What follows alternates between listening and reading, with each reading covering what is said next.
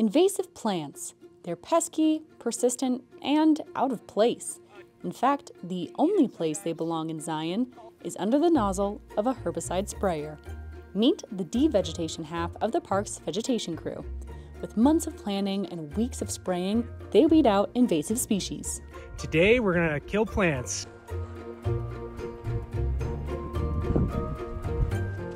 Part of the National Park Service's mission is to conserve native environments. Native plants evolved together and in their natural habitats. Plants, pollinators, predators, and other species balance each other to keep the ecosystem healthy. But when invasive plants grow, they can upset that balance. And so the main thing with like invasive plants, they they outcompete the native plants, right? They don't have those uh, natural predators that they've evolved with um, here, and so they push out all the native plant species. Um, and so we're here to kind of simulate those natural predators and stuff and beat them back down to give the native plants a fighting chance. Invasive plant specialist Ranger Darren surveyed this area in the green hills of Kolob Canyons to see if there were any invasive plants growing.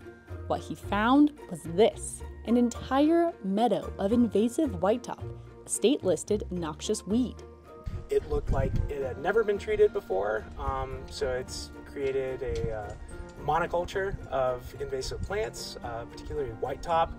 A monoculture is when one species, like whitetop, dominates an area, in this case, outcompeting native plants in the process.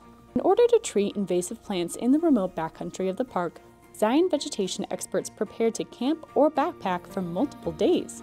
And Darren make sure everyone brings the right supplies. Does everybody have a sleeping bag? Does everybody have a sleeping pad? Do you have a tent with a rainfly that works? Camping up in the juniper pine country near the sandstone cliffs of Kolob cuts down on travel time, so rangers can get straight to work. At the start of their day, rangers pack backpack sprayers with necessary supplies to mix herbicides and map data. Then, they hike all the way to the location where they will work.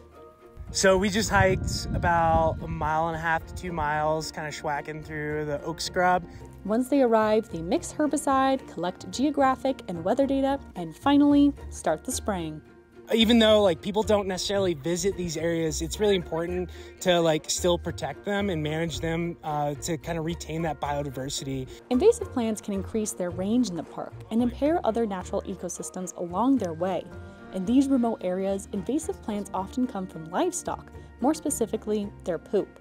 They also come from the millions of visitors from around the world who come to zion hitchhiking on shoes and cars we encourage people to kind of wash their boots, uh, wash their vehicles in between uh, parks even, because um, they could be inadvertently introducing a new plant to a, a, pristine area. With the help of visitors and the work of vegetation crews, native ecosystems in Zion can thrive.